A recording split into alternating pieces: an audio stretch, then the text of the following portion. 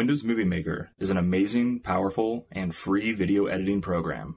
It has had many versions over the years, but overall, it is a very powerful tool in our recommended free editing suite. And it just so happens it comes in a free update for Windows XP.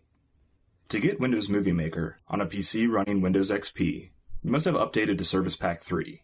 Service Pack 3 addresses a number of issues, but most important to us, it installs Windows Movie Maker. Cheers to that. In order to update your XP computer with Service Pack 3, go to www.letsdabble.com slash XP or click on the link we've so generously provided beside this video to shoot over to the Microsoft Updating website for XP. Once there, follow the on-screen prompts to update your computer. And when they are finished downloading and installing, restart your computer for the updates to take effect.